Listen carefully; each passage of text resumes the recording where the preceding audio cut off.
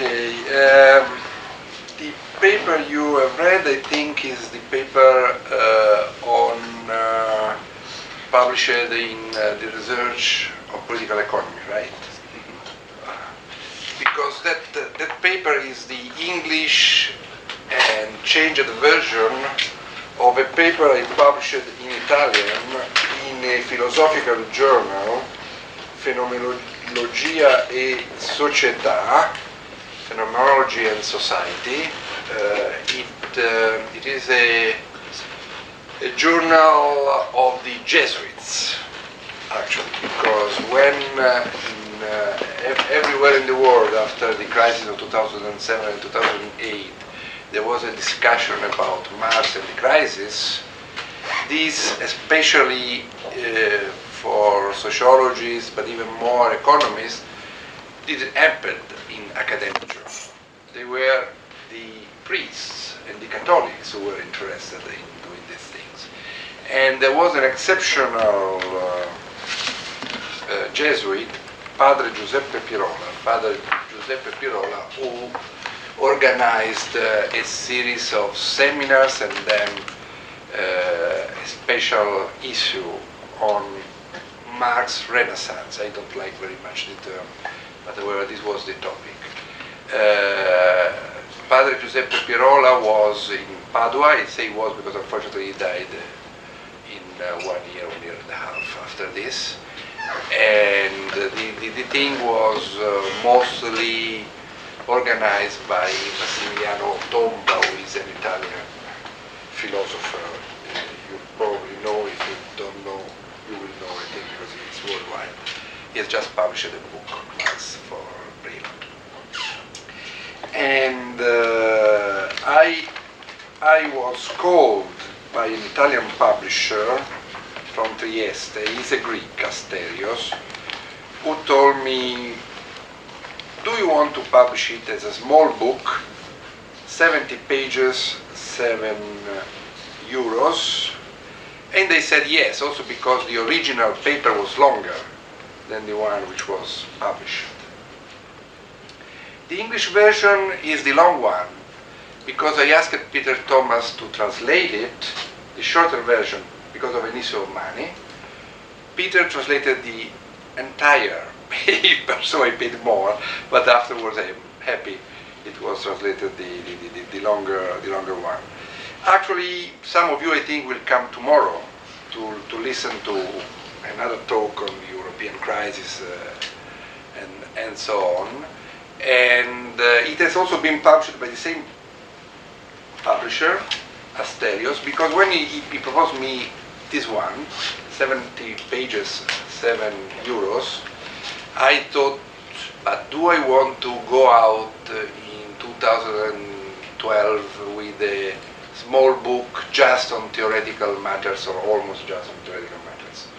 And I proposed him something on the global crisis and European crisis. And I thought to do just one book of 140 pages. He's, he told me, no, I will publish it. Another small book, 70 pages, 7 euros. So that's how it went. But he, was right, the, the, the, the, formula worked. So what I think to do uh, here, also because the trip was very long and not, had not the time to, to prepare myself properly, is to give you a, the structure of my paper that probably you have read, so you will have a lot of, of uh, objections because usually my papers have one problem. I, when I, I write for Marxian journals, I'm not too Marxian. When I write for Keynesian journals, I am too Marxian.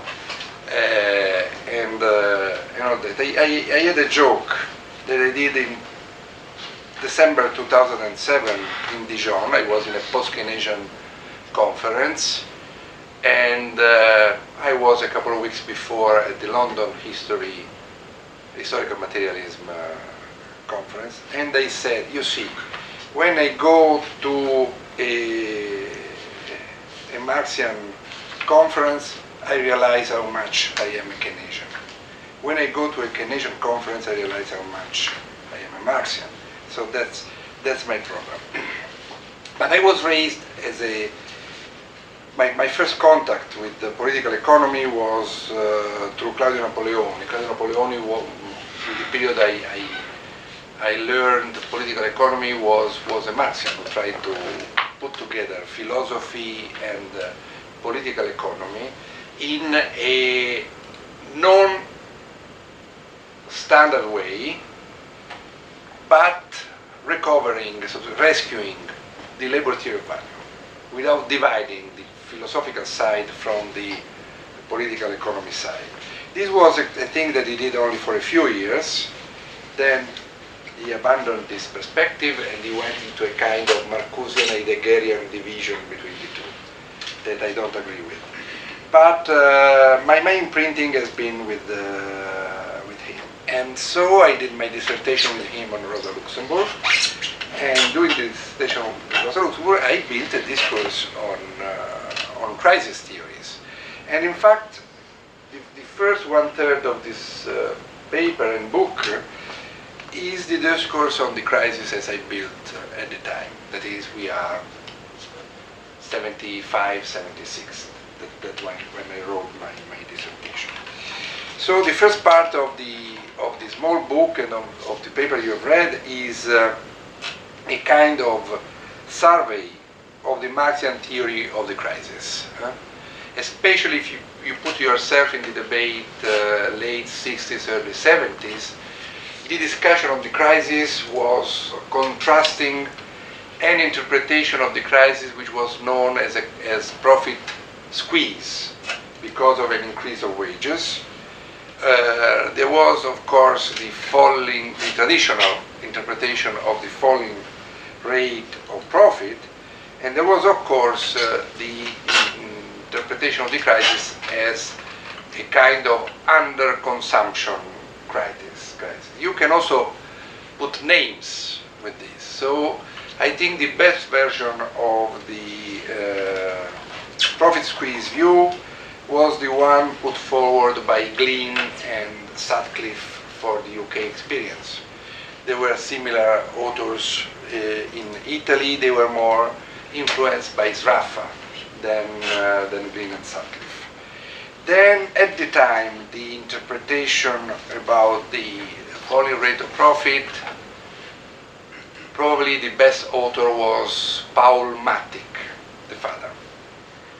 Then, the realization crisis. At the time, probably the, the, the version of the underconsumptionist view was the Paul Sweezy and Monthly Review monthly review tradition. Now, uh, I start from the Sutcliffe view, the profit squeeze uh, view. No? The, the idea is to start from chapter 23rd, or at least of the fourth German edition, which is also the Italian translation. I don't know here how it is because the, the English use the third edition, so it's I think, three, three chapters, three chapters more. Uh, the argument is more or less this in, in that chapter. You start assuming a constant composition of, uh, of capital. There is accumulation. This means that the value invested uh, is going up and up. This will uh, uh, create a, a, pressure on the supply, on the labor supply, making the labor market more favorable to, to workers. So at a certain point, the wage rate goes up and uh, profits are squeezed. Uh, of course, at this point, you have a slowing down of accumulation and a slowing down of the uh, labor demand, and you have a cycle. Uh, this is just the beginning of the chapter because, of course, after a while, you have the fact that when there is this uh, this process and the profit squeeze, capitalists react uh, through a, the introduction of uh, machines. This means that the composition of capital goes up, and this means that you need to, to consider two forces. One is the increase in the rate of uh, accumulation, and, uh, and the other is the fact that the introduction of, of, of machine may decrease the increase of labor, of labor demand. According to the, the balance of the two things, you may have a cycle, a cycle in which the, the, the wage goes up and down through the cycle, and so profits goes down and up through the cycle. This was actually very, very much used in the 60s and 70s from people from different sides, uh, uh, also coming from uh, from Sraffa, as I told you, but also coming from Keynes, etc. Uh, my point is that uh, this interpretation of the chapter 23rd as a cycle theory, as a, and even as a crisis theory, was wrong because the problem of Marx in that chapter was uh, a criticism of Malthus' law of, uh, of, of, population. Uh, this does not mean that the chapter is not interesting. One can look at the way uh, Rosa Luxemburg looked at, at the wage theory in Marx. Uh, now, I, I, don't know if you ever came across the introduction to political economy of Rosa Luxemburg, uh, because the, this book was translated in Italian, in France, but not in English. In English, it is translated, it will be translated probably this year in the collected, uh, collected writings. So the people writing in English know about the chapter on the wage only through Rosdolsky's. Uh, Rozdowski make a good summary of the position by Rosa Luxemburg on the wage in Marx. The position of Rosa Luxemburg is that uh, uh, in Marx you have a law of the tendential fall in the wage. Rosa Luxemburg's view was that the accumulation of capital is producing a, a squeeze of, uh, sorry, uh, the accumulation of capital is producing an increase in relative surplus value. The increase in the relative surplus value may be seen as a squeeze of the share of the value of labor power in the total value, value produced. This for here is, uh, let us speak in this way, of the essence of capital. Uh, the squeeze of the relative wage, because this is the term that she uses, because sometimes Marx uses this term which is of Ricardian origin, the squeeze of the relative wage can go on for her, as for Marx, together with the rise of the relative wage. So she is against a, a too easy way of, uh, of arguing in favor of the miseration uh, tendencies because of the uh, lowering, lowering down, lowering down of the real, of the real wage. However, in her view, it is possible even that there is a rise in the in the money wage, which gives way to a rise in the real wage, which is higher than the uh, productive power of labor. So you can have a period in which the ready wage goes up. But this has limits, because breaking the law, the tendential fall in the ready wage for her, it is not really possible because it is breaking a law in capitalism.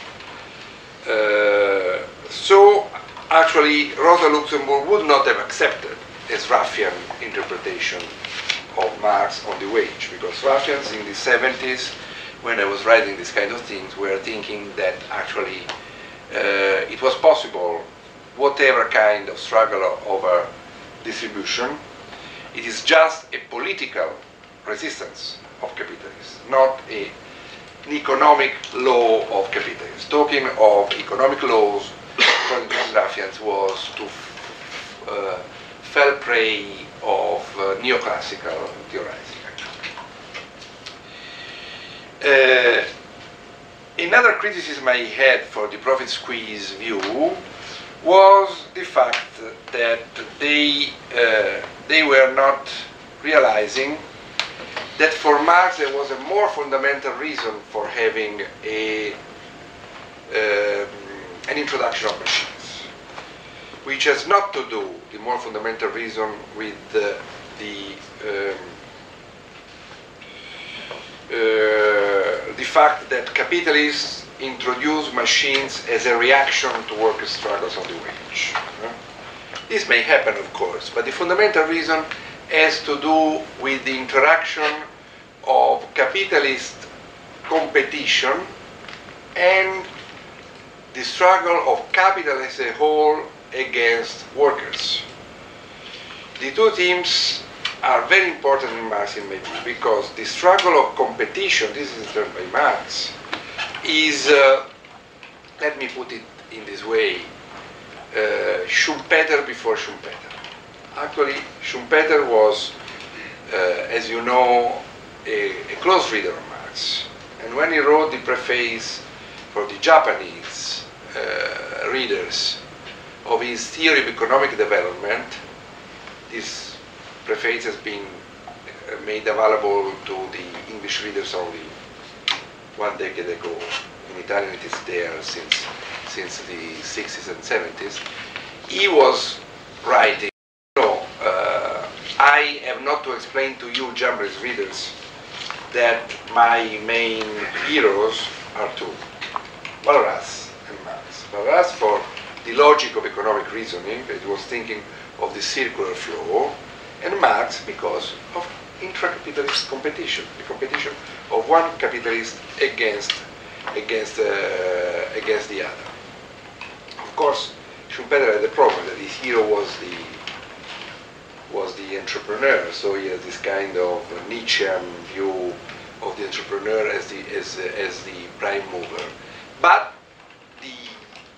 you skip this aside, so to speak, the two theories of competition are very, very, very similar. His theory of competition of Schumpeter is mostly the theory that Marx has in chapter 10 of the first book of Capital against fourth, fourth edition. Uh, but the point in Marx in chapter 10, and look, it is important that because the first book has no place for competition, one may say. No, Marx had to put competition in the first book of Capital. Why? Because that competition is actually implementing what capital is in its essence, and uh, it is the fact that capital as a whole needs to introduce machines to control labor from workers. Uh, I have to come back to this point later on because for now I'm using labor in a very generic way, which is the way even most the most sophisticated uh, readers of Marx do. They do not distinguish very much the meaning of labor in Marx. In my interpretation, Marx actually in, uh, distinguished and was coherent in his way of speaking of the different dimensions of labor only, maybe not even in the first edition, but in the second edition of the first book of Capital, so relatively, relatively late. Take the Grundrisse, from that point of view, it is a fascinating book, but when speaking of labor, it is a mess. Right?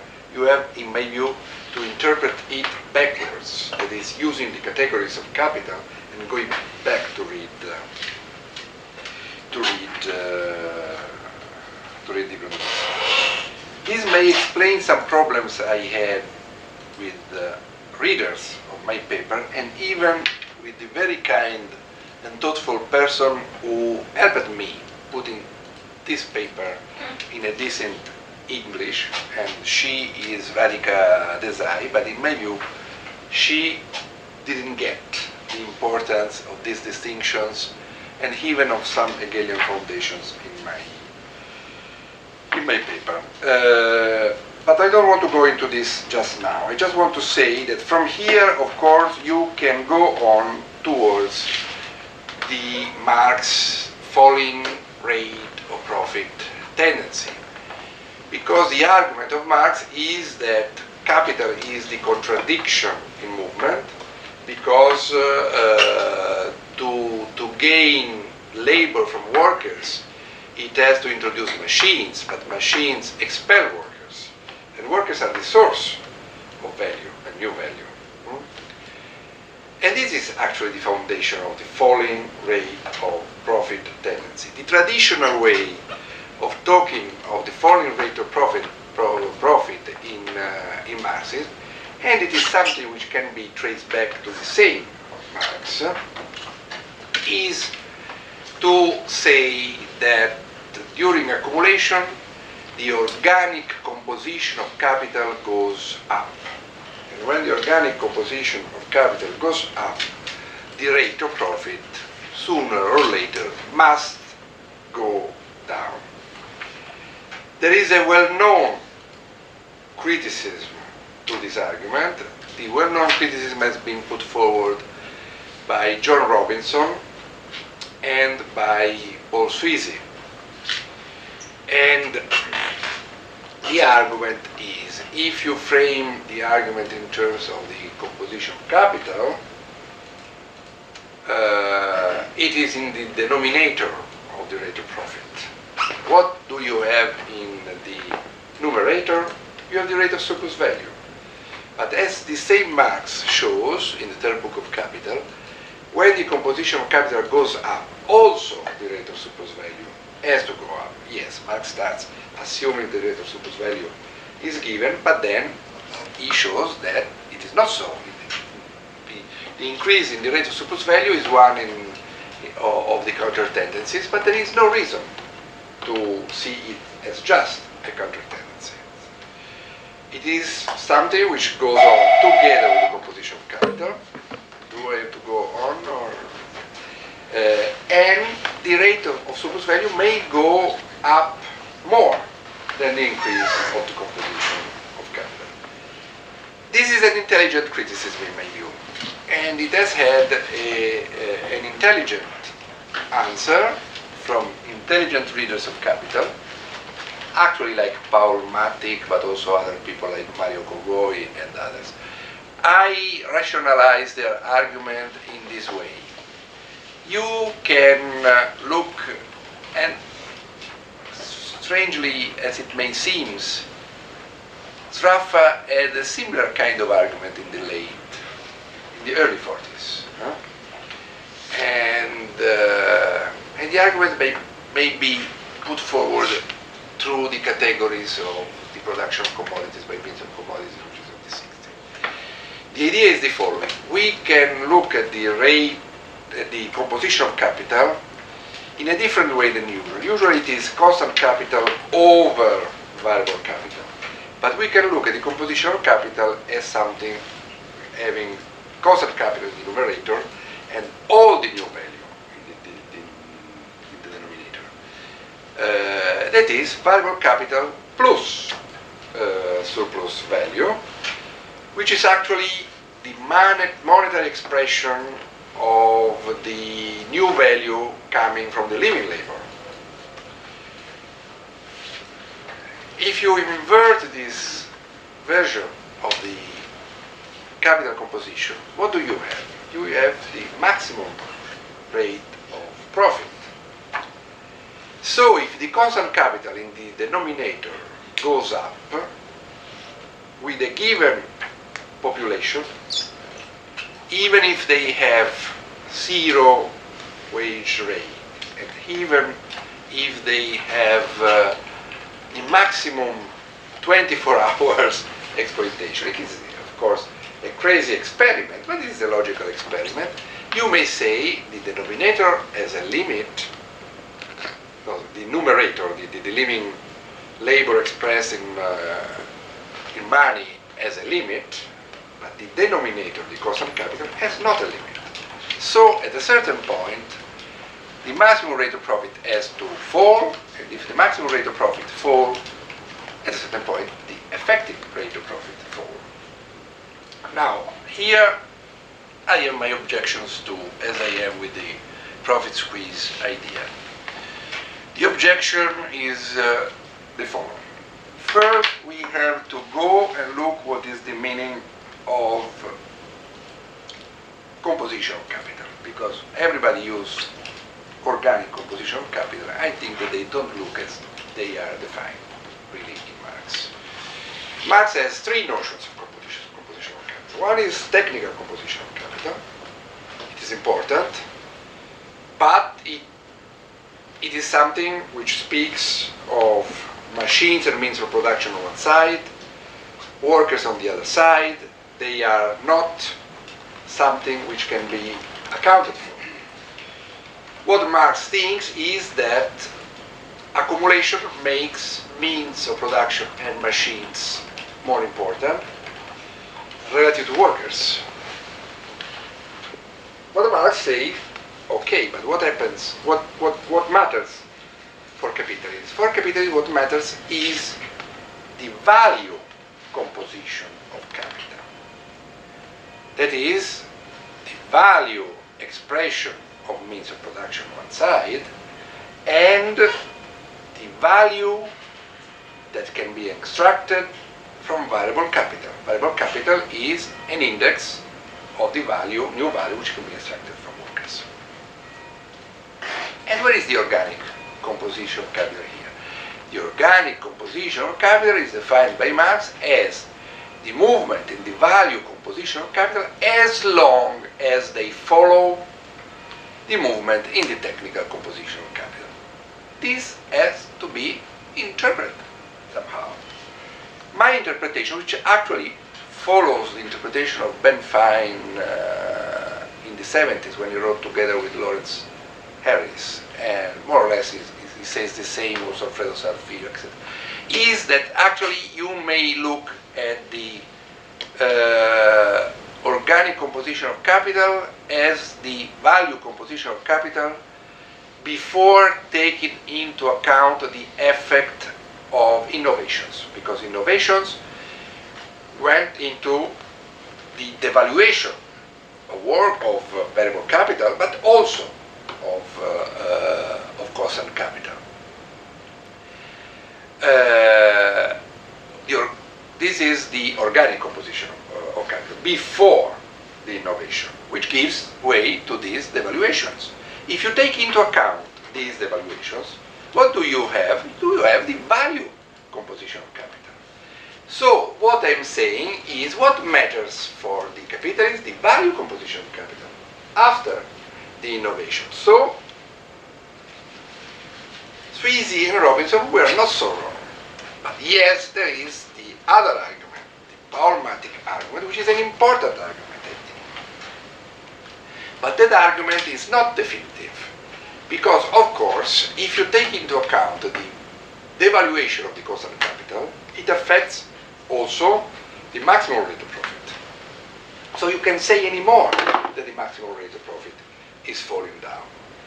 Uh, I have an important use in my in my paper of Paul Mattick. Actually, I've written lately something on Paul Sweezy and Paul Mattick, which are the two opposite sides of the debate of, of, of the early 70s, late 60s, early 70s, if you wish, in which, uh, provocatively enough, uh, I'm saying that both were wrong relative to the crisis of the 70s, but both were right in important things. And I will say later, probably, in, what they were, they were right. So this is about the falling rate uh, of profit. Then you have the realization crisis.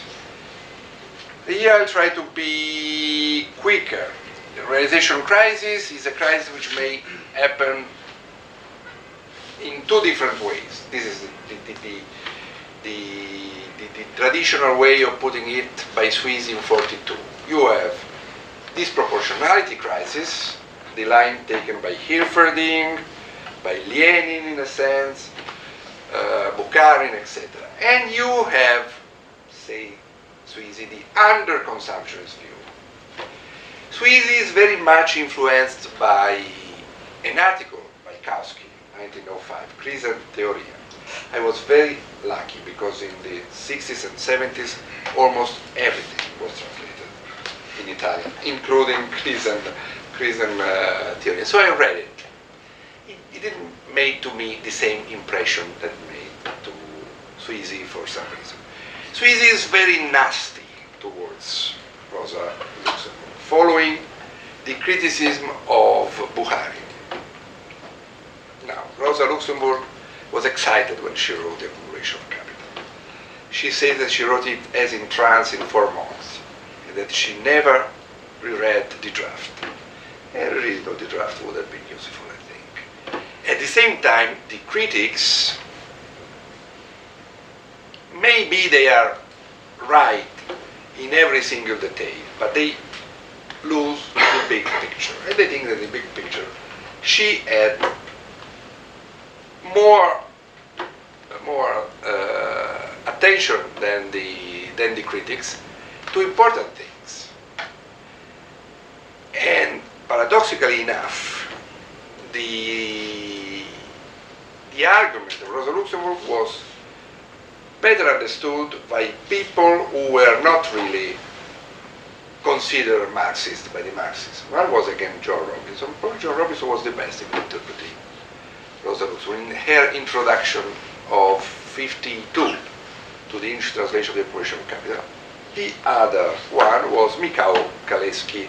Kalecki was a Polish economist who reached the same conclusion even before reading, actually, Rosa, Rosa Luxemburg. But later on, they, they, they, he, he came back to, to, to this debate and wrote two very important articles, articles in 67 and 60, 68, going through all this debate.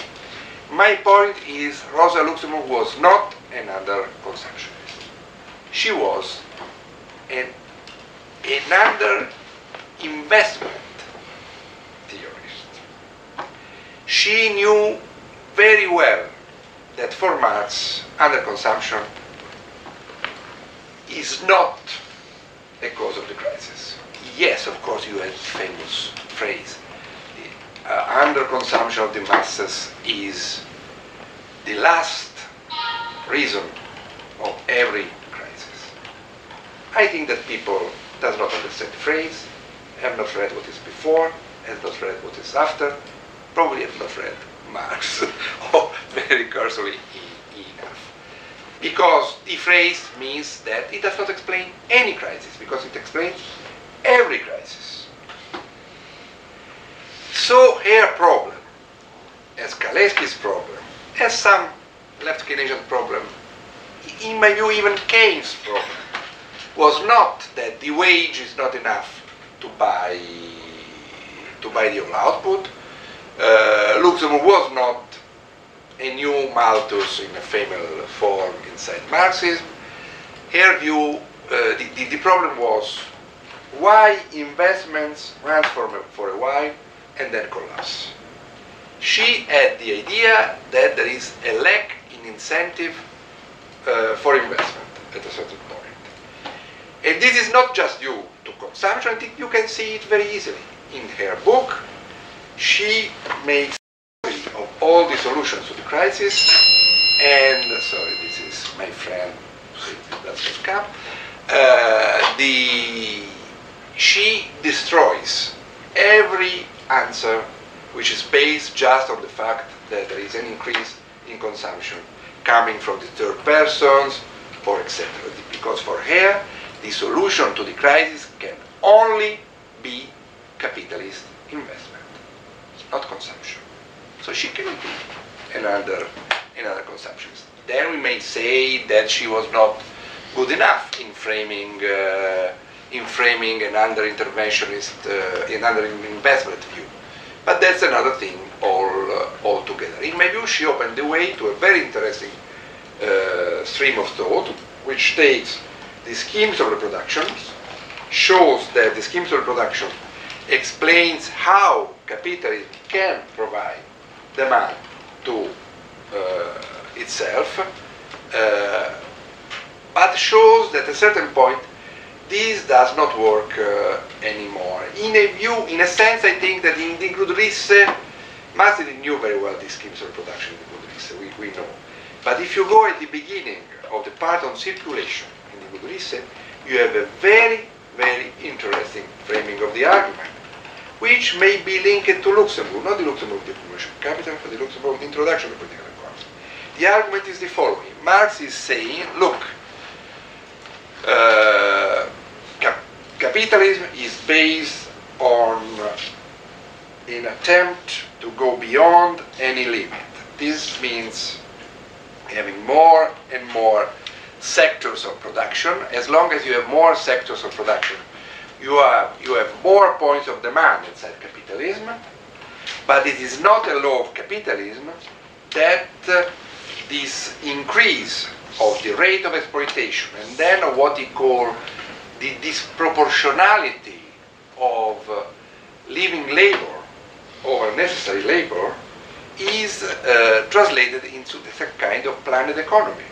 So at a certain point, there will be disproportionalities coming from any increase in the rate of surplus value. And these disproportionalities will lead uh, sooner or later to imbalances. You may say disproportionality crisis, but when these disproportionality crises are so huge in some sectors to create an excess of uh, supply over demand, they will degenerate into a uh, effective demand uh, demand uh, crisis. This looks quite sensible to me. Here I stop with the survey. Then the paper, in the version published in uh, in the book, has two movements. The second movement is not in the philosophical Italian journal, but it is in, uh, I think, in uh, research in political economy. Uh, the two movements are, first, I say, look, we can look at these different three theories of crisis as one theory of crisis. That is, we can put the three things together. This is not something that Marx does. If you wish, it, it is something in the way of rational reconstruction. But it can be done, and it can be done inside a labor theory of value perspective. The second movement, which is likely because Peter Thomas translated it, and so paid him more, but I'm happy now to paid him more, uh, and in the book, is to say, look, I can have this reading of Marx because I lived an historical experience in the 60s and 70s.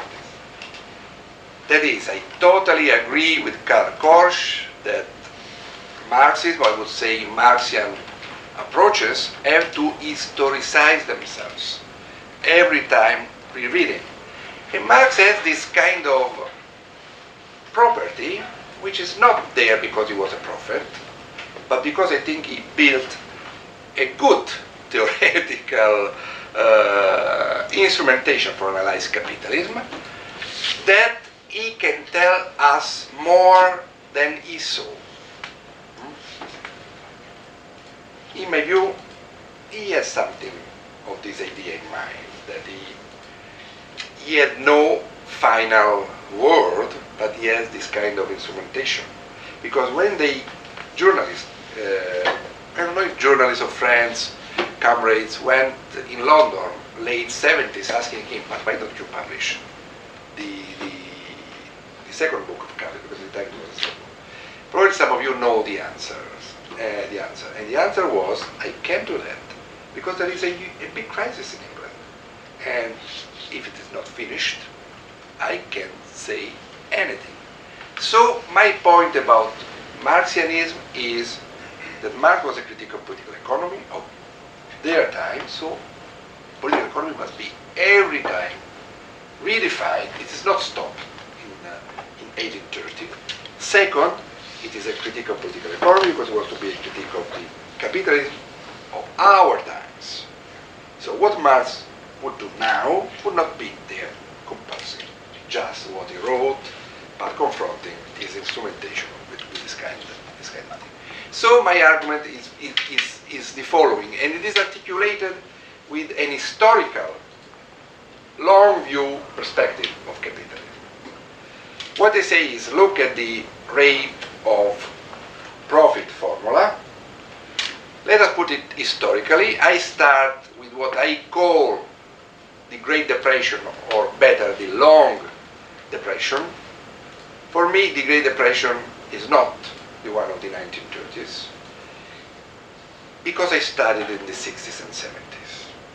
And in the 60s and 70s, in the book I read, the Great Depression was the Long Depression. The Long Depression was the crisis of the late 19th century. Go and look at the books by Dobb, for example, of Joseph Gillman on the rate of profit, etc. And the idea was that Long Depression can be explained through the traditional rate of profit falling according to Marx. The statistical data more or less support it. And this even the critic of the falling rate of profit says, like Joseph Gillman one of them. Uh, my, my, my discourse then goes on saying the crisis of capitalism is not just the death of something, but it is a transformation in, into a new form of accumulation. Capitalism reacted through technological and organizational innovation, among other things, course, the trustification, etc. But also through Fordism and Taylorism. I put them in this order because I think that the workerist interpretation going from Taylorism to Fordism is wrong.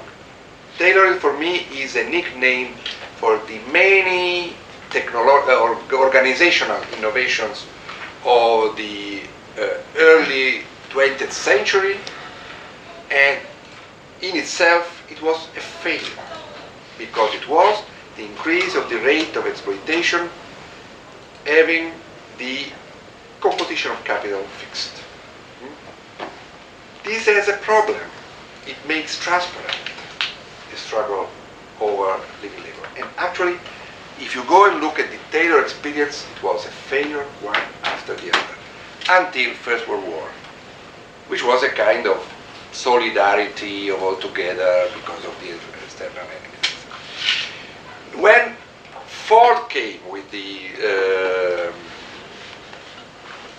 what is the English name, uh, conveyor, conveyor belt, conveyor belt, he in incorporated a lot of this uh, innovation. He had to resist the, the, resistance of workers, also to higher wages, etc. Uh, but he changed the, there was progress, there was technical progress, there was the changing of, of, of the structure of the factory. It was not only higher intensity, it was higher intensity through also an increase in the productive power of labor. It was much more powerful in, uh, in my way this created the conditions of a realization crisis in the late 20s because it gives way to an increase in the rate of surplus value.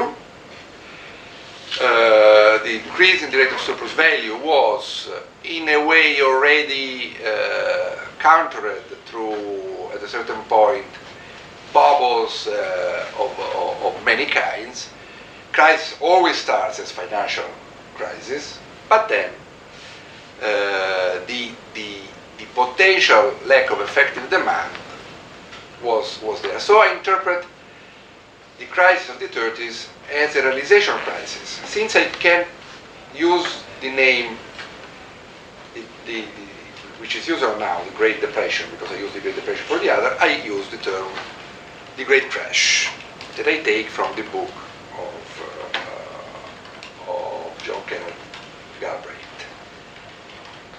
There were many answers to the Great Crash. One is the New Deal. It was an important answer. I leave it aside. Probably I may say something tomorrow. The New Deal was not Keynesian. Another legend is that the New Deal was Keynesian. It was not Keynesian if we mean for Keynesian the uh, deficit financing. Roosevelt was against deficit financing. That's why in 37 he blocked, 37, 38 blocked New Deal was less than Keynes from this point of view, but was more than Keynes from another point of view. Uh, not because Roosevelt was good, because of the import of the crisis, but also because there was the push of social conflicts from below. It was a situation in which the state intervened in, in uh, the economy, providing directly demand, defining the composition of, of output, and employing directly workers. Hmm? So it was a kind of huge experiment in what Keynes would later would have called socialization investment, but it was socialization investment on a much more radical way than Keynes thought and wrote in the last chapter, or almost last chapter, of the general theory. And it was a kind of socialization of, uh, of uh, employment. If you take an author like Minsky, of which I say something tomorrow, today I think I, I will not go very much into the last part because it is very much similar to what I say tomorrow. If you take an author like Minsky, what he says very much comes from Keynes as a financial economist, but it also very much comes from the New Deal.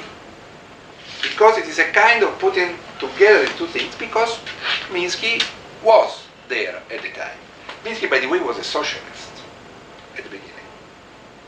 He was an anti-Stalin, an anti-Lenin socialist. I think he, at his school, he even built some kind of uh, socialist young uh, center. He was in the American Socialist Party.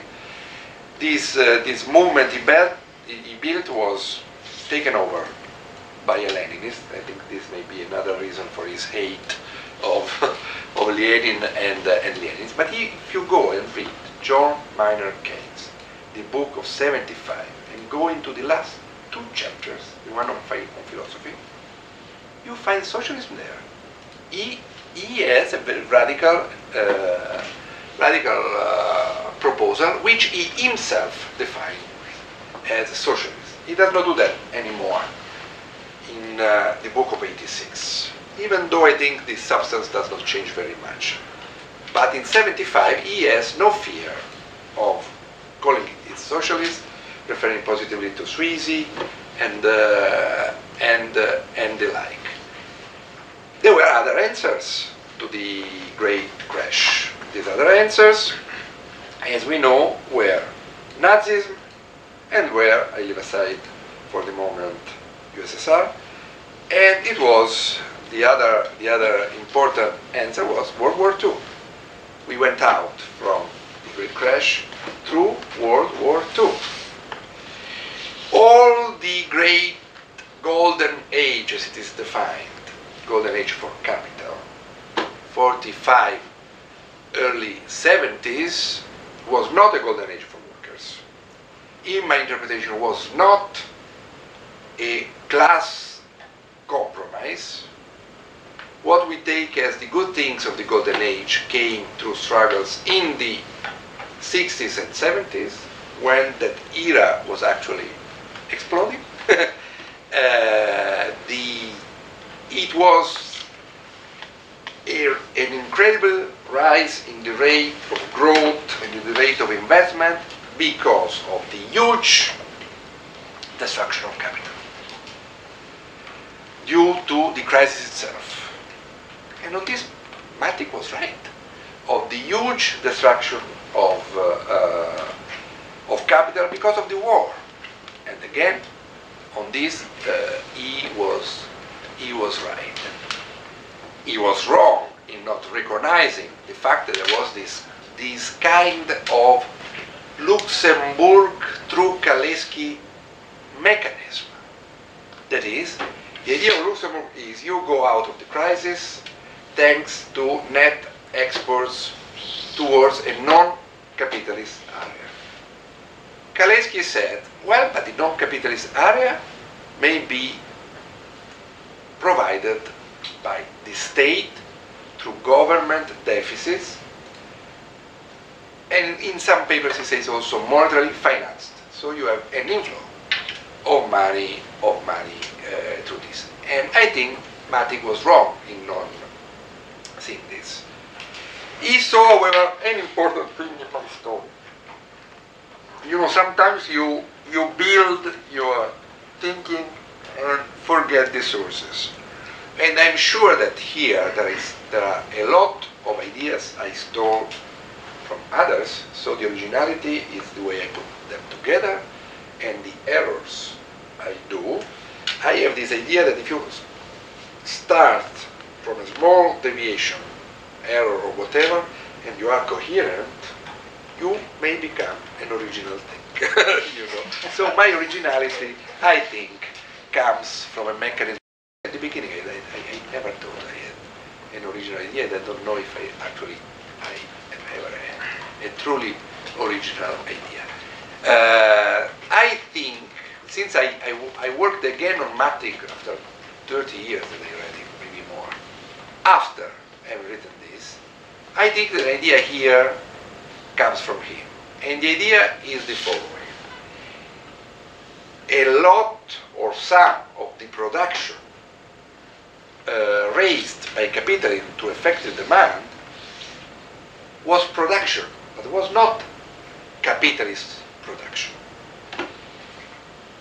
As you know, Mattick was politically Luxemburgian, but theoretically not. No? All these Luxemburgians went through Grossman and the falling rate of profit. As you know, Rosa Luxemburg somewhere, I think in introduction to political economy, writes that falling rate of profit story is a stupidity. She does not believe in it uh, anyhow. But this idea that investment that is the solution, it must be capitalist investment, is important for both. The most Keynesian, before Keynes, part of the commercial capital is the part of militarism for Luxemburg. And why? Because that kind of effective demand could allow for capitalist investment, that is, investment exploiting labor to having new surplus value, etc. And for Luxemburg was a solution because the goods, the commodities which were produced, were not going into anymore the process of reproduction. So it was productive labor, but as some authors in the 70s wrote, not in Italy, not reproductive labor, meaning labor entering again in the reproduction of capital. It was the solution of the duality, or to the problem that duality, duality of investment gives for effective demand.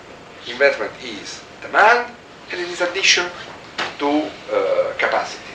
Here you have the good side, demand, but not the bad side from, from the, for the rate of profit. Now I think that uh, the point of, uh, of Mattick was right. That is, look, this demand raised, this is my translation, I would not say this way, raised the profit rate, it will say no, because it didn't account for that. But it creates a problem. The problem is that this, this thing is sustainable only if the rate of exploitation over the directly productive workers goes up and up and up. So if you see all the, the crises, the, the, the Great Depression, the Great Crash, and now the crisis of the 70s, goes all down to the increase of the rate of surplus value. Why I say the crisis of the 70s? Because in my view, the crisis of Ford in the 70s, actually I would say that the crisis of, of Ford's began since the, the mid-60s. There was a period, mid-60s, early 70s, for many reasons, intra-capitalist competition, financial reasons, but a very important point, a crucial point, in my view, the key point was that capital was not able anymore to extract enough surplus value from workers. But this not in the meaning of the traditional rate of surplus, sorry, falling rate of profit story. This time it happened because they were not able to win or to win enough the class struggle in production. Workers were able to resist the needed increase in exploitation. Uh, so, I'm near the end of what I want to say this evening. So, if you see, we have used all the elements until now. We have used the falling rate of profit story in the traditional way in, uh, for the Great uh, Depression. The realization crisis for the late 20s and the 30s. We have come back to a capital labor confrontation, as in the profit squeeze idea, but not only or mainly in distribution. In distribution, but more so in uh, direct valorization process. The three things together may be seen as a kind of uh, redefined falling rate of profit story. Because paradoxically, what I'm saying is that you cannot divorce the tendencies from the counter tendencies. In a sense, what I'm saying is that yes, the counter tendencies are winning, but when they win, they reassert sooner or later the tendency itself. So, the, ray, the realization crisis is the counter, comes from the counter tendency to the traditional falling rate of profit, but in the end, it cannot go on forever, that reaction. So you have the realization crisis. And the answer to the realization crisis, since you are not going outside capitalism, creates the condition of a new crisis, and so on and on. So I think that you can't have a Marxian theory of the crisis which does not start logically from the falling rate of profit. Otherwise, you are not able to locate, in my view, the realization crisis and what I call the social crisis of, of the 70s. Uh, just two things to close. The second part, the one which is not in, in, in the Italian uh, paper for the Jesuit, just because there's no time, no, no, no words uh, anymore, so I have to cut somewhere, is that I say, look, why I am able to, to say this? Because the class struggles in Italy in the late 60s, early 70s, were paradigmatic. That is, they, they, they showed in a clear, clearer way than elsewhere what was going on. And in my view, the capitalism, the crisis of monopoly capitalism, was showing uh, the elements for this interpretation. In my view, Mattick was a good theorist for the Great Depression. Sweezy was a good theorist for the for the Great Crash.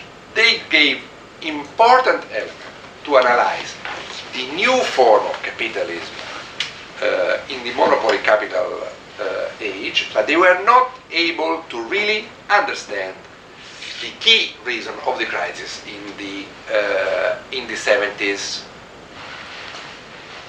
Then I have the last part of the paper. The last part of the paper is on neoliberalism, and on this I will come back tomorrow. I just give you the abstract, and the abstract is this. In my view, neoliberalism is not is a new form of capital accumulation. My idea is that if you want to understand the crisis of capitalism, you have to first ask which kind of capitalism went into crisis. Because the crisis is not the crisis of some asphyctic uh, or weak or feeble capitalism, it's always the crisis of certain contradictions of capitalism as an expanding mode of production. So I do not buy the idea that neoliberalism was weak uh, and feeble because it was damped by the underconsumption tendencies because the wage share was going down, which is the most diffused idea. Uh, the distribution problem is low wages and distribution a problem? Yes, it is a problem, but it's not the reason of the, the crisis. I don't buy the idea that it was uh, a crisis because of the falling rate of profit. I agree with most of the supporters of the interpretation of the crisis of the 70s as falling rate of profit, who says that actually the rate of profit has recovered uh, almost entirely since 80 uh, on. What I'm saying is that neoliberalism is uh, a phase in which capital was able to destroy the condition of the strength of the workers uh, in the 70s through two legs.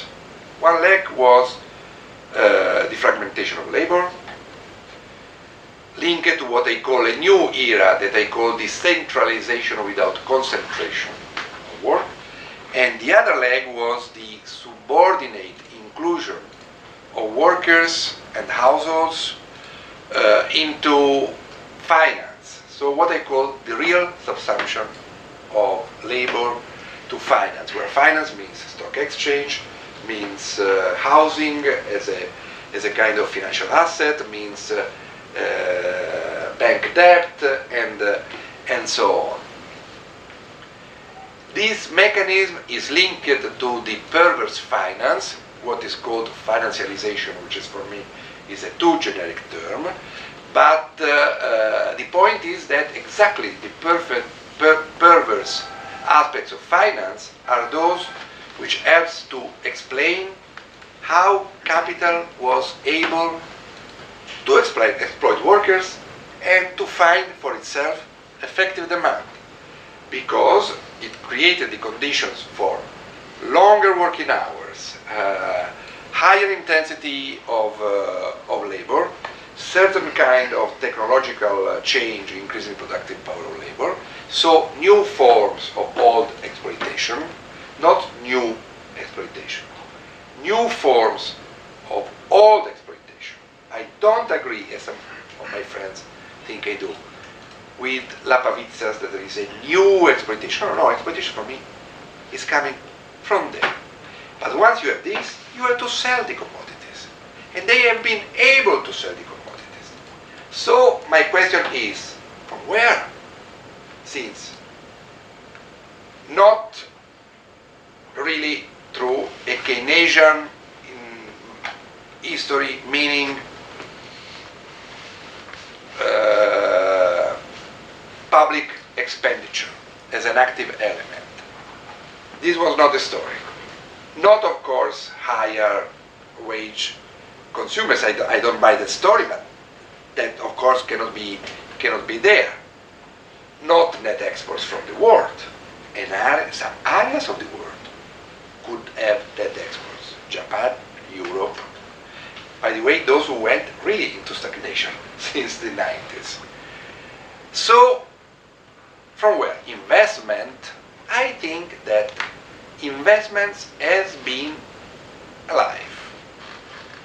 If you look at investment from the side of effective demand, you may say reasonably, oh, it's not, it's not being very high.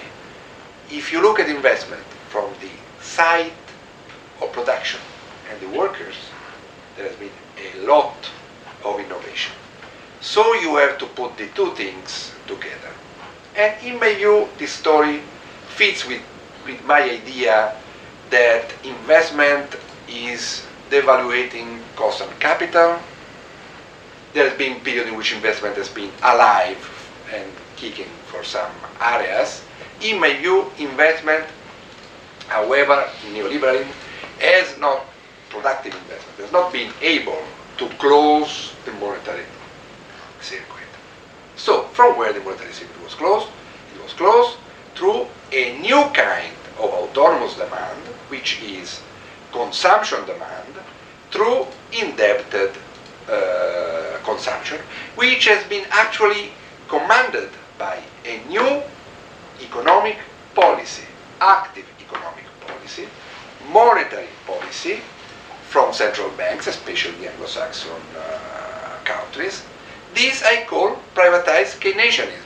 I mean Keynesianism, meaning it is a politically produced demand. They never forgot this, never went. But at the same time, it is privatized because it goes through privatization, of course, but also through monetary policy uh, and not uh, fueling the capital Toporowski, the capital uh, market inflation, no? Inflation of capital assets. It is a completely new mechanism. It has been a mechanism very, very uh, efficient for a while. It is a mechanism, however, which went under through its own contradiction. In my view, this crisis started in 2000, actually not in 2007.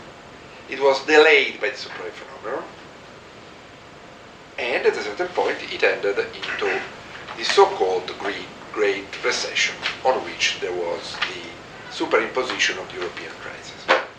I stop here. If comparing with Italian, I may, may give some of my books Well, tomorrow.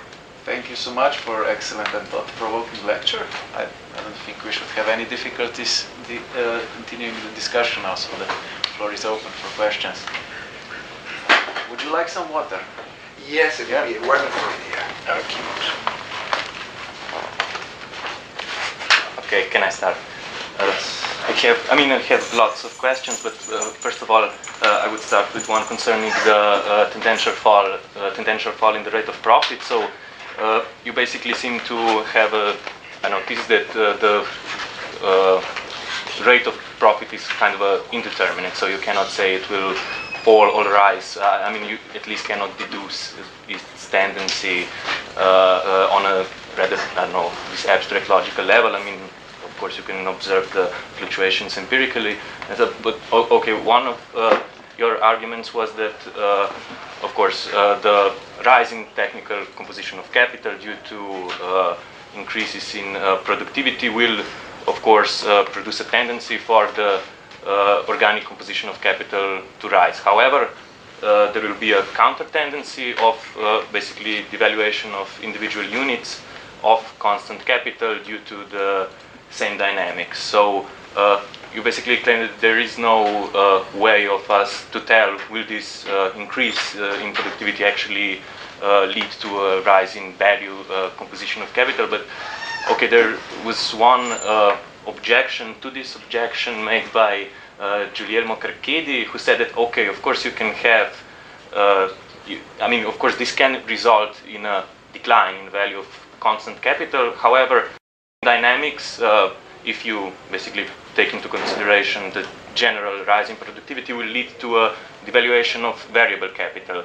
Uh, so you won't stop the tendency of the variable capital to basically decline, and therefore also we won't stop the tendency of the surplus value uh, in the nominator of the uh, profit rate equation to to fall. Uh, okay, there's also another uh, uh, thing. Okay, you, you also said that there's uh, basically no way to prove that the rate of surplus value will basically rise. I don't know to smaller. Uh, I mean, to a smaller degree than the organic composition of uh, capital. I mean, of course, okay, there is. Uh, I mean, I tend to actually agree with with that. It's just I don't know. Okay, we could say, of course, if you increase uh, productivity, then uh, okay, you will have a rise in uh, organic composition of capital, as well as the rise in the rate of surplus value. Okay, of course. Okay, Marx uh, tries to show that uh, I know uh, the rise in organic composition of capital will prevail due to the fact that the mass of the rise in the mass of surplus value is limited. Of course, this can be shown by an example. For example, Michael Heinrich does that uh, in his book. So, okay, uh, you have uh, know, 24 workers you have an industry with 24 workers employed, each of them performs two hours of surplus labor a day, so therefore in a day they produce 48 uh, hours of, or they perform 48 hours of surplus value. However, if, if you reduce the, those numbers of workers substantially due to the uh, basically uh, adoption of labor saving technology, if you reduce the number of, of workers to two, of course, two of them will never be able to produce 48 hours of surplus labor a day. Uh, so, uh, okay, th there is a certain limit to the rise of, uh, okay, surplus value and therefore also to the rate of uh, exploitation. But, okay, however, then Heinrich makes a counter argument basically that this context will only lead to a certain decline in the rate of profit only if we presuppose that the total capital advanced will remain constant. But this same basically case that was put forward to show that there's a uh, uh, basically that there's a limitation to the rise of uh, surplus value shows that there, it also implies the reduction of the value of variable capital because if you I know if you come from 24 workers to two workers then uh, the the variable capital capital will be 12 times uh, smaller and if you also take into consideration the rise in the rate of surplus uh, okay no uh, if you take into consideration the depreciation of the means of consumption then this means that okay variable capital will tend to fall even lower so okay, uh, this leads to a sharp reduction of the total capital advance, which pushes, pushes basically the uh, uh, profit rate up. However, the, the, same argument I put forth for the first case, could it maybe be used also for this case? So, okay, of course, there can be, I mean, this decline of variable capital on the long run will still on will still basically uh, result in the decline of uh, surplus value. So maybe, okay, you can have this uh, work of these counter tendencies if we were to call them that, but they won't stop the fall in the profit rate on the long run. I mean, okay, also some more questions, but maybe, okay. yes. Other questions? I will get some. Okay, uh, I have one question, uh, more empirical. You said, I mean, I don't see how your account uh, doesn't fit in with the uh, tendency of the profit rate to fall. Um, uh, you said that at the end of the 60s, uh, there was a struggle, I mean, there is always a struggle between workers and capitalists, and the latter, the capitalists, just couldn't extract enough surplus value from the workers, so that ensued um, uh, the private debt accumulation, and so the crisis uh, began. Uh, I don't see how you couldn't integrate that view into the falling rate of profit view put forward by Freeman and Kliman and Carchedi, Roberts, and others, because um, they argue a, a, similar thing. I mean, especially Roberts, uh, he says contra Lapavitsas uh, and Dumenil um, that okay, even if we assume um, that the profit rate did uh, rebound uh, in the neoliberal uh, period, but I think that uh, Andrew Kliman makes uh, an irrefutable case that it didn't, uh, not on empirical data, but because you have to use historic cost, not current cost. And I mean, if you could shed light on that, I don't see how you could use current cost um, pricing. so um, even if it did rebound, so what? I mean, produced the crisis, the falling uh, rate of profit, and yes, then the counter tendency, the credit accumulation, as Marx put it uh, in the third volume, uh, can can uh, be the counter tendency for many years, and then ultimately the tendency asserts itself, and uh, a, a, great crisis manifests itself like uh, the Great Recession. So, if you could maybe talk about that, why uh, don't you fully agree with the traditional uh, view um, in the case of the 70s and the 80s. Uh, for, for example, why, why don't you agree with uh, Kliman, uh, Roberts, and uh, others? Um, why do you invoke that Keynesian, privatized Keynesian? Um, I, I, just didn't understand it thoroughly enough. I, am sure you explained it. Um, that would be it for, for now.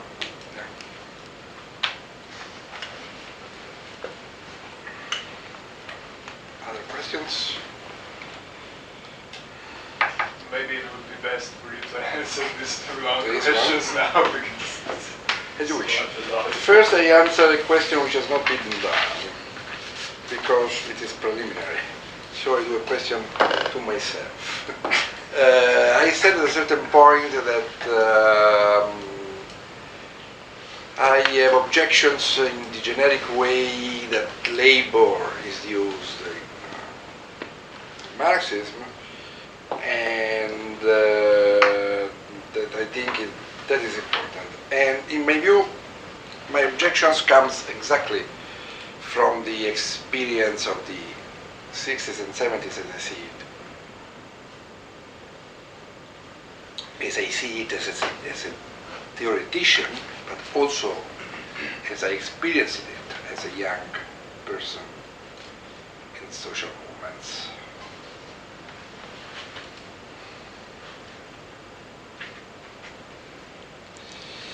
I made, I make here a quote that is also in the Research in Political Economy from an interview to a worker which was done in the late 60s uh, and which has been uh, published in 88. It was done for the Corriere della Sera, but the Corriere della Sera didn't publish it. Uh, It was a series of interviews with workers if I find it, uh, it is should be here. Uh,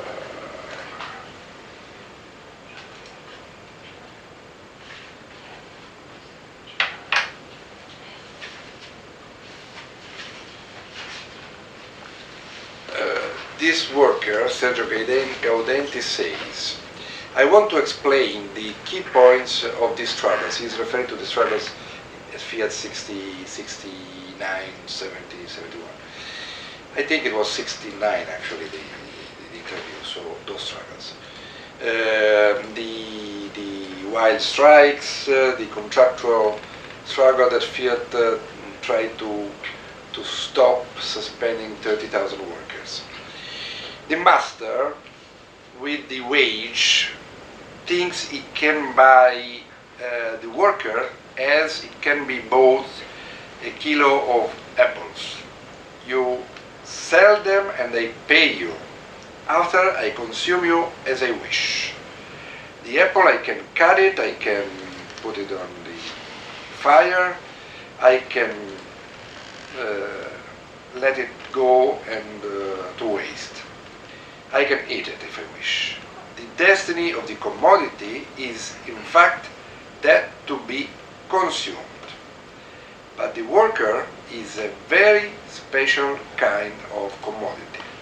It is not enough for it to be sold at a good price. It does not want anymore to be consumed as workers like. It is a commodity, this one, that wants to have the power to control every day the way of its consumption. That is why now we are doing the internal struggles on work for workers' control. Now, let me go to the theoretical point. I think that Marx, when he arrived in Capital, he uh, insisted on the distinction between labor power, labor, and workers. Labor power is the commodity that the workers sell to capital. It is Arbeitskraft in, uh, in German. It was Arbeitsvermögen, capacity to work before. Then there is labor, Arbeit. When Marx speaks of Arbeit in capital, in my view, he always is speaking of lebendige Arbeit, living labor, the activity which is extracted from labor power. Then there are the workers. The workers are the living bearers of labor power. And that is the key point. You can't just stop the distinction between labor power and living labor. You have to understand that labor power is attached physically to the living beings of labor power, workers, and that when capital buys labor power, it has to take the workers inside the factory or the working place, and that are the workers who have to work. So this is a very special kind of social relation. And this creates for capital problems which are completely different than any other problem that capital. In a sense, everything else can be included in capital, except this and nature.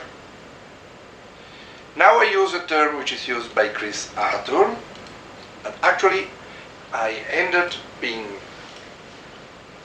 very near, on a certain point even almost indistinguishable from Chris, just because I said the same things before because of, of, of, of, of religion.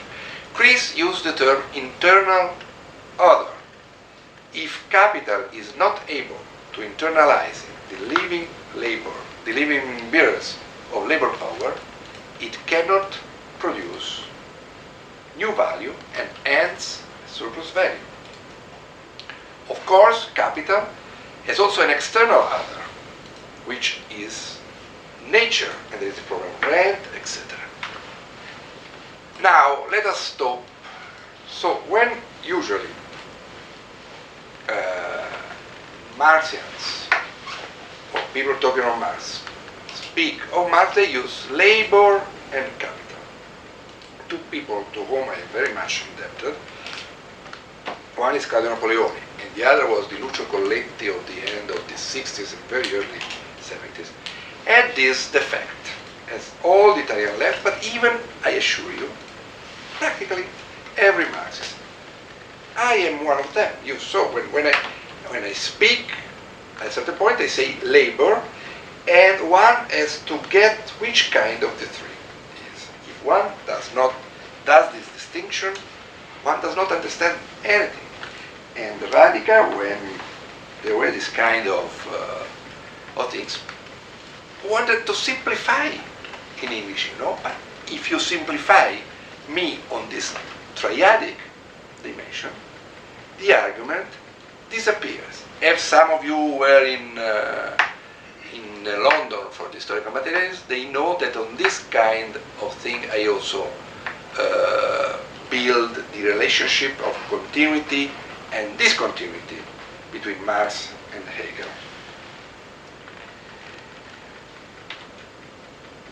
Now, in Capital, what, what one sees of this is this argument. Take, take chapters 5, which is 7 in English. The worker has sold his labor power. The capitalist has the right to use it. There is no uh, injustice in this, and they follow Marx completely from this point of view. The capitalist wants to use the worker as living bearers of labor power. He has the right to do so. Uh, so it is like an apple. But Marx knows very well that it is not like an apple. If it is not like an apple, this means that every time capital has to win what Althus, not Althusser, Balibar called class struggle in production, which is always on both, on both sides, it has to extract living labor from a always potentially counterproductive labor. Even the best of Marxists either don't see or don't use this. Take the great Lukács in And Class Consciousness. This thing is taken for granted. Take Sweezy, it is taken for granted valorization. Take Paul Mattick. Take the authors that you have quoted. When we go into economics, it is something which is taken for granted. I think that you don't, you, it's a generic, you understand anything if you stop taking this for granted. And Marx became a critique of political economy because there was a social reality before, that is, there were people starting in the early to, uh, 19th century questioning capital. The critique begins from there. This has to do with the answer to the second uh, question. None of the interpretations of the authors that you quoted as the monthly review, uh, as the as the climate, okay, insists on this. What, whatever is aside, it is not there. For me, it is not only crucial to read Marx, it is crucial because, of course, there were people seeing this before, probably on the fringe of the labor movement. Maybe it is my experience that I, you know, I felt impressed by this when uh, when I, I, I, I, saw that. I think it was a great thing for my generation because I, am not so sure that other generations had this kind of possibility to be in contact with uh, really with workers, etc. But in my view, that was a kind of mass experience. And so I think that this must be there to understand the crisis from the late 60s and in the 70s. I agree completely that empirically uh, you can distinguish. You cannot distinguish. This is a problem for everybody. Here I agree with Paul Mattick.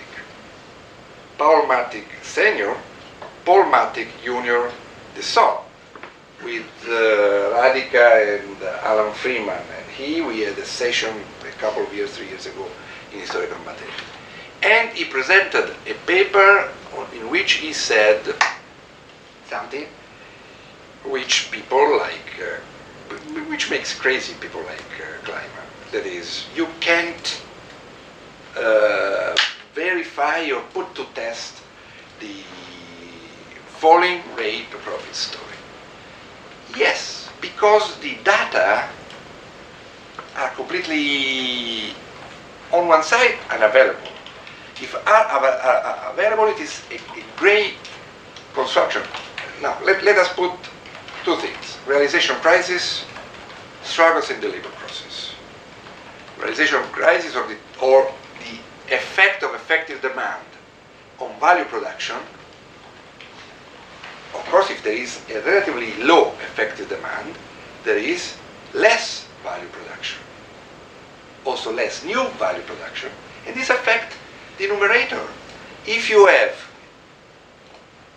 my social crisis, this affects the ability to extract the living labor, then the transformation into, and so again, how you from the data distinguish? Because if you take this capital income ratio, which is the one which was mostly, mostly used, on that you have all these elements together. So in my view, you can't actually distinguish. Uh, I think there is a lot of interesting things on debt in the authors you, you say. My, my problem with them, and here we go to the, to the first question, is more on the theoretical grounding. You know, there is, I, I have been I don't know if to say lucky enough, to have been selected by the historical materialism for many years to be the discussant of choice for uh, Kliman, for Mino, Carchedi, uh, eh, and for Alan. Uh, so, you know, when, when you read a paper because you have to do the discussant, you, you read it seriously. Uh, in one case, I had Alan as a discussant on a paper of mine. He used his 10 minutes to say, you have written between two commas that uh, the interpretation or that the uh, the economists uh, don't find errors in Marx uh, transformation problem. And for a single system interpretation. I am for a single system, but not in that way. But however, uh, that was his contestation. But it was absolutely minor point in my paper. It was not discussed in my paper. So my answer to a 10 minutes comment was, ah, yes, I will not say the economists, but for the majority of the economists, there is an error that we have to discuss and see that. Uh, I, I don't remember the same occasion. I had to discuss a paper of uh, uh, Andrew. Andrew has a peculiar methodological interpretation according to which you can say scientifically that you are not putting forward an interpretation, but you are just the voice of the author. I made a sophisticated rebuttal of this, in my view, referring to the debate, because you, you just can put outside of the thing altogether. Uh, and at the same time, his view was is then the author, and I don't think that you can say that. You can say this is the author in my interpretation, and then there is the empirical reality, and I test because the argument is we are putting forward this is Marx, and we are not saying that Marx is right. Then we go and check with the reality. This seems to me some kind of crude uh, neo-positivism, but let us let us leave aside. Why I arrived through those?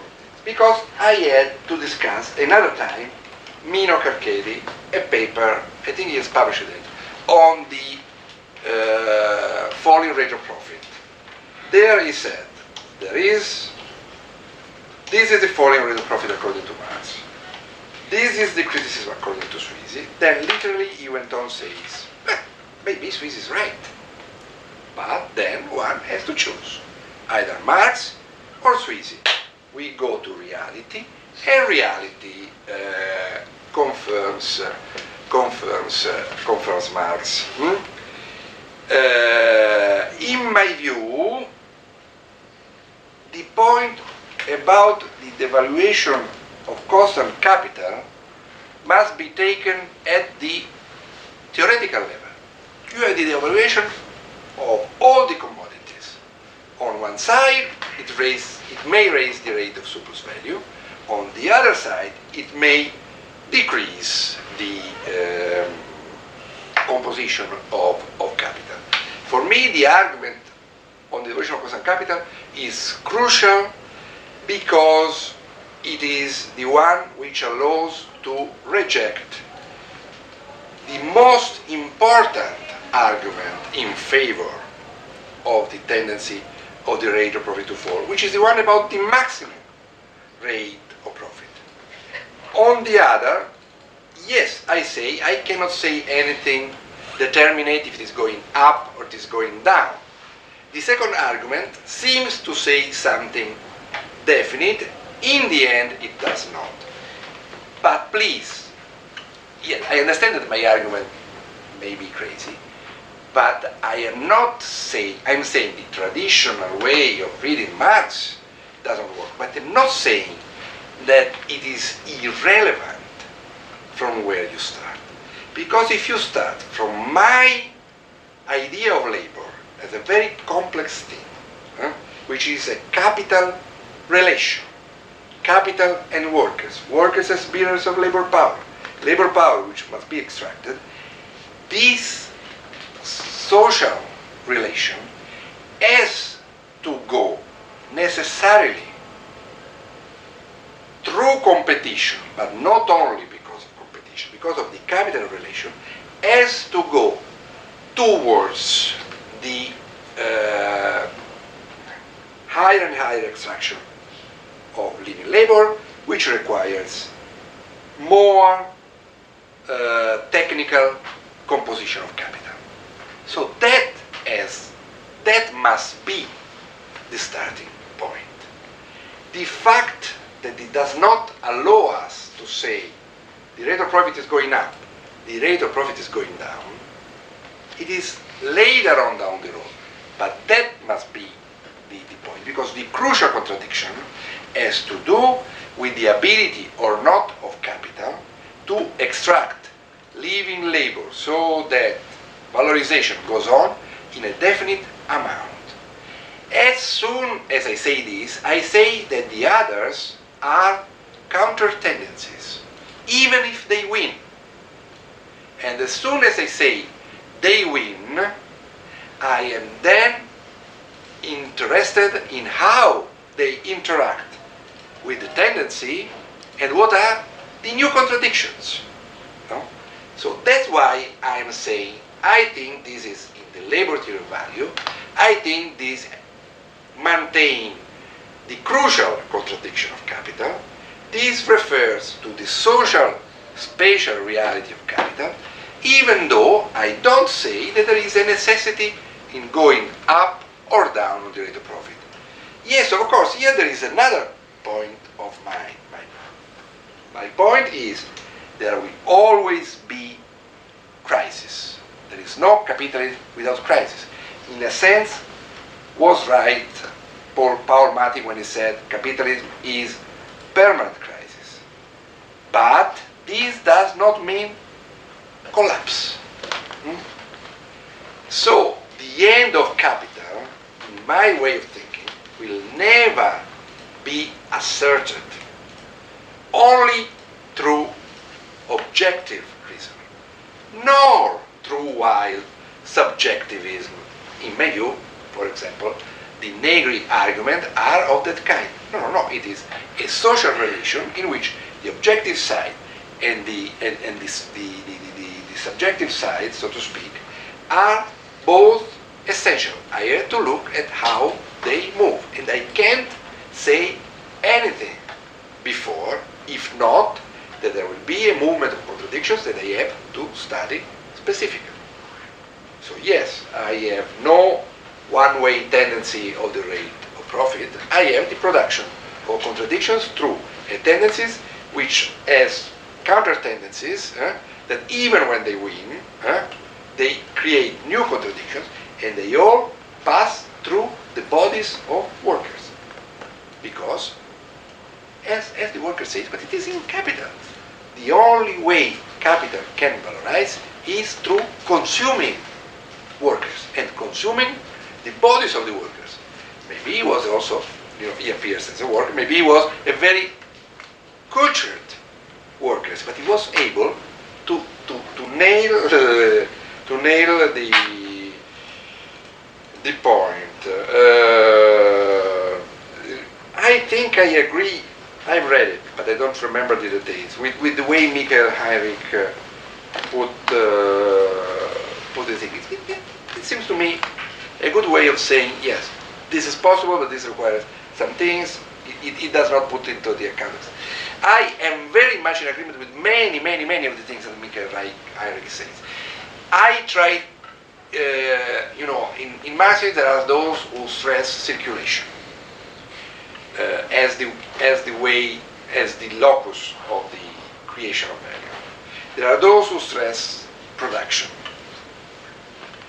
Uh, I think that both ideas are wrong. I think that Michael is going too much towards the circulationist view. I think that both are wrong because value is created in the uh, intersection, so to speak, of the two things. At the same time, and that's why I have that, that kind of strange interpretation also of Hegel, in Marx it is essential of going from production to circulation. This is not so easy as it seems, you know, because uh, since the beginning, Marx knows that uh, uh, that production is immersed in circulation. So even in the first book of Capital, you don't start from production. No. So you have always the, the two things together. Then now, how you can say that production is before circulation? And this is another uh, another kind of, of problematic. But I think that, that that point is crucial, is important. No? My game actually, and that's why I'm interested in a certain kind of uh, and post-Keynesian dimension, is that we have to distinguish two, two different kinds of circulation. One is the circulation on which Marx definitely put a lot of accent, which is the general circulation of commodities. When commodities are produced, uh, and that's at the beginning of capital. And it, it must be there, of course, because you, you, you can't start uh, presupposing that production production is, is done, it is there, etc. But that's one thing. But then, before you have production, you, you, you have the production of value, but that production of value has circulation before, not only after. Because that production of value before has the buying and selling of labor power. And, and that's, a, in my view, logically, it is a different kind of circulation. The capital relation, meaning the relation of capital with workers, is at the same time a production relation and a circulation relation. And it is a very specific circulation relation. Now, a lot of the heterodoxies of the 70s and 80s and 90s have insisted on this on the wage side. You know, saying this is true of especially of French authors, but not only. Saying the problem is for workers the fact that they are dominated by by the wage. Know? So all the stress is going towards that kind of situation. That, that's not good either. I think that we have to stress the priority of the capital-labor relation, which is finance to buy workers, the wage, the money wage, etc., and production. And this is an argument, in my view, the argument of the first book of Capital. Hmm? And later on, you have the general exchange of commodities, where this the, all the argument about the general equivalent. You may see my perspective as putting more stress than Marx did no, on this circulation within the capital-labor relation huh, and reducing the stress that, that he and most Marxists have on the general equivalent uh, side, etc. This is, of course, because I very much stress the macro dimension of the capital-labor relationship. You know? when you go into the general equivalent, you are not anymore in the macro dimension, maybe you are the exchange of one commodity against the other, you are more in the general economic equilibrium, the equivalent of a general economic equilibrium system. That's it. I think I killed you. I see this cousin. Two hours are gone. Okay, we have any other questions?